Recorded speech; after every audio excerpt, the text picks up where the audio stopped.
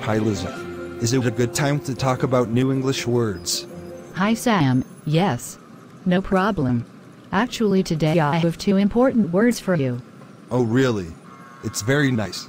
Let's discuss about it. Yes, why not? Today's words are vacillate and rhetoric. Okay, let me try.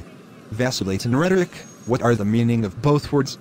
The meaning of vacillate is waver between different opinions or actions. Or we can say to waver in mind, will, or feeling. Okay, I think I got it. Let me explain. It's like hesitate in choice of opinions or courses or things. Yes, perfect.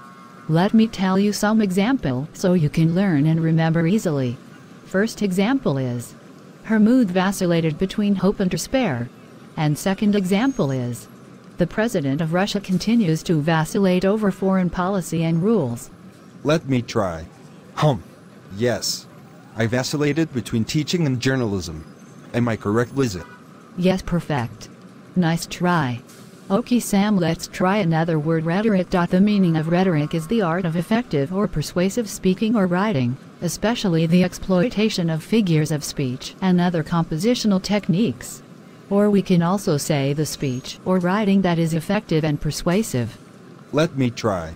As I understood the art of speaking or writing effectively. Am I right, Lizzie? Yes, perfect.